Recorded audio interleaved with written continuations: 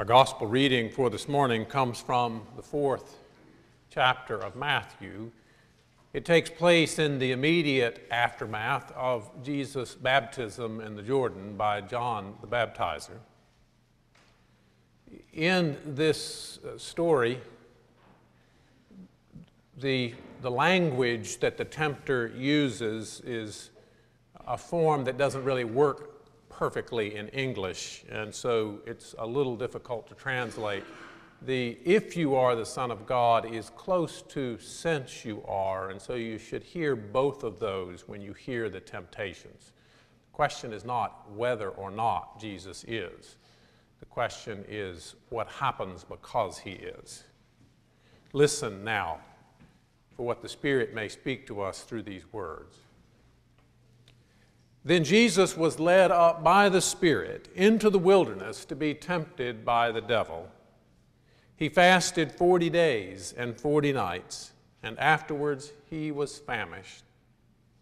The tempter came and said to him, If you are the Son of God, command these stones to become loaves of bread. But he answered, It is written, one does not live by bread alone, but by every word that comes from the mouth of God. Then the devil took him to the holy city and placed him on the pinnacle of the temple, saying to him, If you are the Son of God, throw yourself down, for it is written, the devil's perfectly capable of quoting Scripture. He will command his angels concerning you, and on their hands they will bear you up, so that you will not dash your foot against a stone. Jesus said to him, Again it is written, Do not put the Lord your God to the test. Again the devil took him to a very high mountain and showed him all the kingdoms of the world and their splendor. And he said to him, All these I will give you, if you will fall down and worship me. Jesus said, Away with you, Satan, for it is written, Worship the Lord your God and serve only him. Then the devil left him, and suddenly angels came and waited on him. The word of the Lord. Thanks be to God.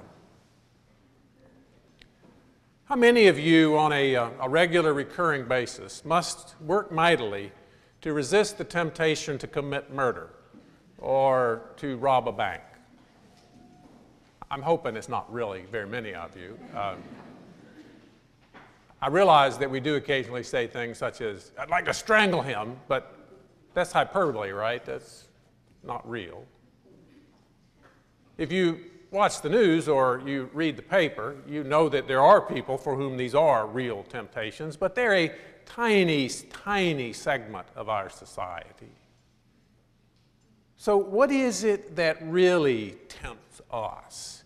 What are our real, genuine temptations that we struggle with? Some of them, no doubt, are um, trivial temptations to have another piece of cake or watch another episode of House of Cards. But, but I'm really interested in more serious temptations, those things that tend to deflect us from what it is we should be, who it is we're meant to be. What are those things that might lead us when we are grown old to look back and wish we had done things differently? I think that a lot of people envision Jesus' temptations in the wilderness along the same lines as me being tempted to commit murder. Surely Jesus dispenses with such temptations as easily as I dispense with the notion that robbing a bank would be a good strategy for dealing with an unexpected expense. But that's not the picture Matthew paints for us in his gospel. Matthew tells us that the Spirit leads Jesus into the wilderness to be tested.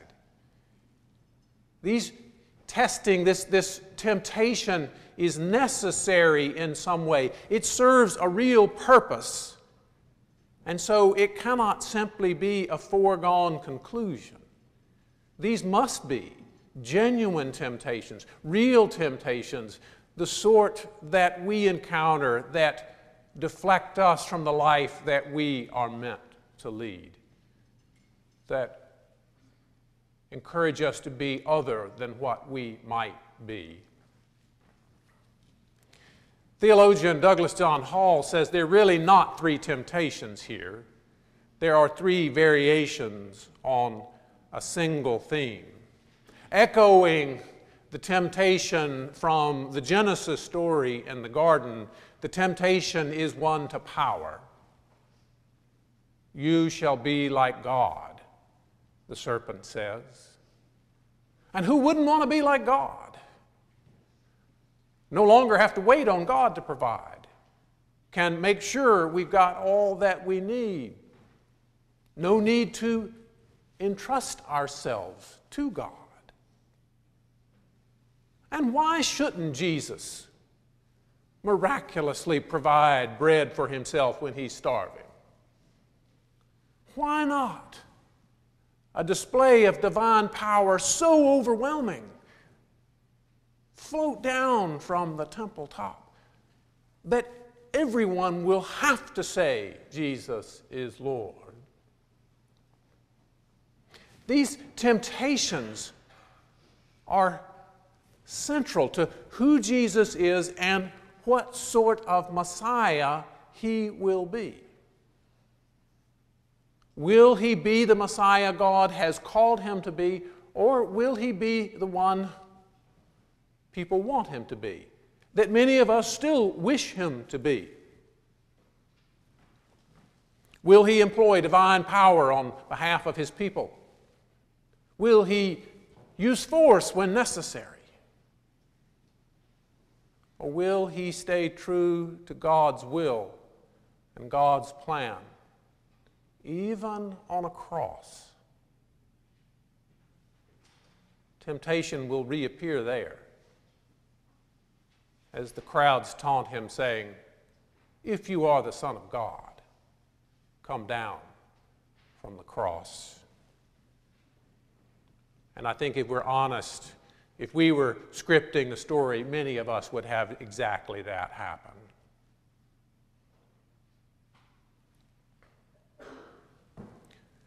We in the church are called to be, and we are told that indeed we are the body of Christ. We are called and are the body of Christ. And so it stands to reason that we also will be tempted to be something other than what it is God means for us to be. That primal temptation to power, to be like God, is ever with us in countless variations. Don't trust God's commands. Trust your own judgment. Don't embrace the cross. You can have Easter without Good Friday. Look out for number one. Be assertive, demand your own rights, accumulate and strive for political power and clout. You can be a disciple without denying self, without becoming truly vulnerable. Jesus resists all of these temptations, but more often the church has not. On a recent Saturday at a retreat attended by um, the deacons and members of our session, what in other denominations might be called the lay leaders of this church, we considered our identity as a congregation. We remembered some of our history. And we reflected on the question of when it was we had felt closest to God in the doing of our work and worship and ministry here at Falls Church Presbyterian. It's not as easy a question as it might seem. Because as Jesus' temptations point out, the things that impress us and wow us and move us may not be the things of God. Perhaps another way to approach this question, this where in your work and ministry and worship have you most profoundly experienced God's presence? Perhaps another way to express that is to ask, where in our work and worship and ministry have we been truest to our identity as the body of Christ? Where have we trusted and given ourselves over to God's will and God's dream for a new day? In just a few moments, a new class of deacons and elders will take their ordination and installation vows.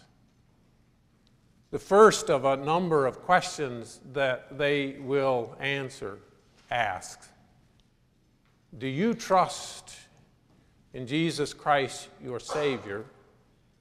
Acknowledge Him Lord of all and head of the church. And through Him, believe in one God, Father, Son, and Holy Spirit Lord of all, head of the church. But at the very same time, temptation whispers, it's just a ritual. Don't take it too seriously. Do whatever seems reasonable and best to you, whatever people want, and everything will be fine.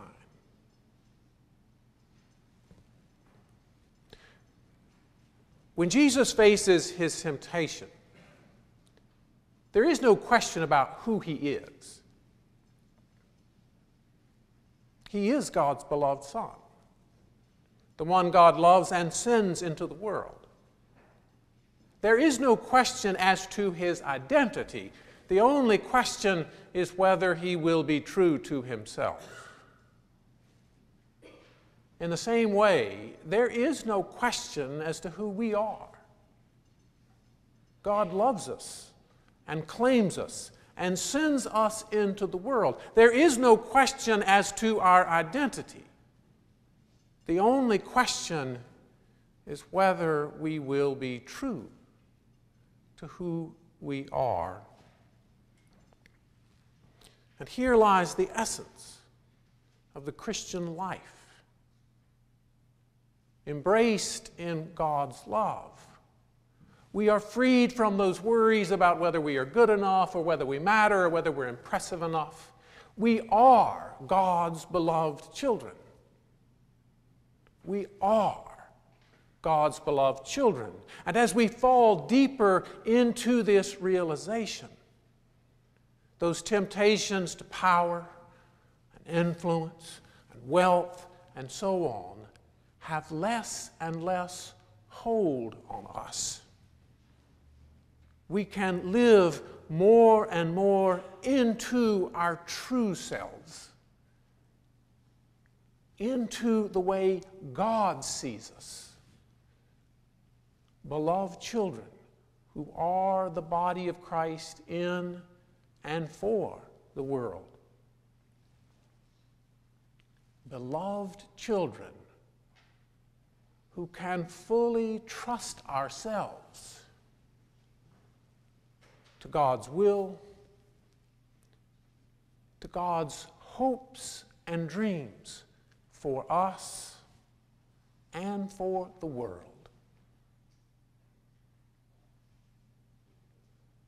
All praise and glory to the one who loves us, who embraces us as beloved children and who calls us to bear that love into all the world. Thanks be to God.